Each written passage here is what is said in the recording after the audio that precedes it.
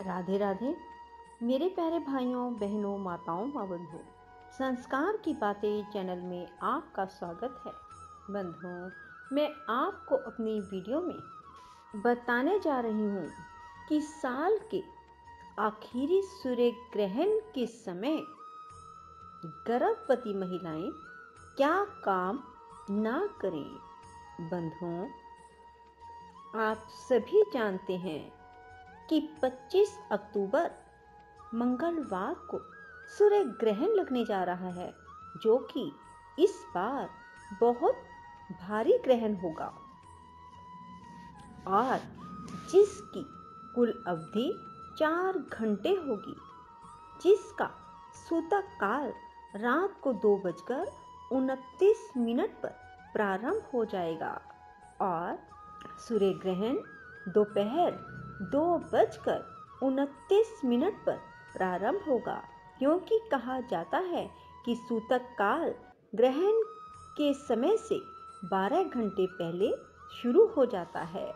बंधुओं और ये ग्रहण शाम को छः बजकर तीस मिनट तक रहेगा। बंधुओं ऐसे में गर्भवती महिलाओं को बहुत सी सावधानियाँ बरतनी पड़ती हैं। अब मैं आपको वह सावधानियाँ बताने जा रही हूँ, क्योंकि गर्भवती महिला इन सावधानियों का प्रयोग नहीं करती तो उनके पेट में जो बच्चा होता है, उस पर उस ग्रहण का दुष्प्रभाव पड़ जाता है। इसलिए गर्भवती महिलाओं को इन सावधानियों को अवश्य प्रयोग में लाना चाहिए। बंधुओं, सूर्य ग्रहण के समय गर्भवती महिलाओं को घर से बाहर बिल्कुल भी नहीं निकलना चाहिए, क्योंकि इस समय निकलने वाली हानिकारक किरणें गर्भ में पल रहे बच्चे को बहुत नुकसान पहुँचा सकती हैं। सूर्य ग्रहण के समय महिलाओं को किसी भी प्रकार की नुकीली वस्तुओं का प्रयोग नहीं करना चाहिए। ऐसा माना जाता है, यदि गर्भवती महिलाएँ ऐसा करती हैं तो बच्चे अपंग या फिर किसी अंग से विकृत पैदा हो सकते हैं। सूर्य ग्रहण के समय गर्भवती महिलाओं को किसी प्रकार की कढ़ाई और सिलाई का काम नहीं करना चाहिए, अर्थात उन्हें सुई का प्रयोग नहीं करना चाहिए, ना ही कैंची का प्रयोग करना चाहिए और ना ही चाकू का प्रयोग करना चाहिए। ऐसा करने पर बच्चे और माँ दोनों की सेहत के लिए नुकसानदेह हो सकता है। हो सके तो ग्रहण के समय गर्भवती महिलाओं को रामायण या फिर किसी अन्य ग्रंथ को पढ़ना चाहिए। ग्रहण के समय गर्भवती महिलाओं को सब्ज़ी काटने या फिर किसी अन्य यंत्र का प्रयोग भी नहीं करना चाहिए। यह भी ठीक नहीं माना जाता। बंधुओं, सूर्य ग्रहण के समय गर्भवती महिला को अपनी चोटी भी नहीं गूंथनी चाहिए।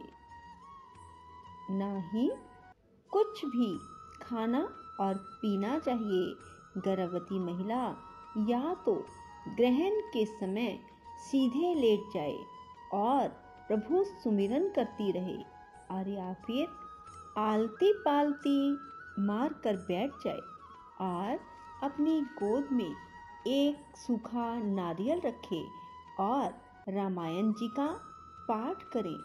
जब तक ग्रहण का समय रहे, उतना समय पूरा इसी प्रकार से रामायण पढ़ते रहे और जब ग्रहण का समय बीत जाए, तब नहाए और उस नारियल को बहते पानी में छोड़ दें।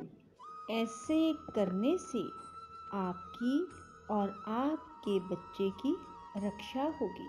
बंधुओं, एक बात और, गर्भवती महिला को ग्रहण के समय कोई कुंडी भी नहीं लगानी चाहिए, जैसे कि टॉयलेट की, बाथरूम की, ऐसा करने से भी बच्चे पर दुष्प्रभाव पड़ता है।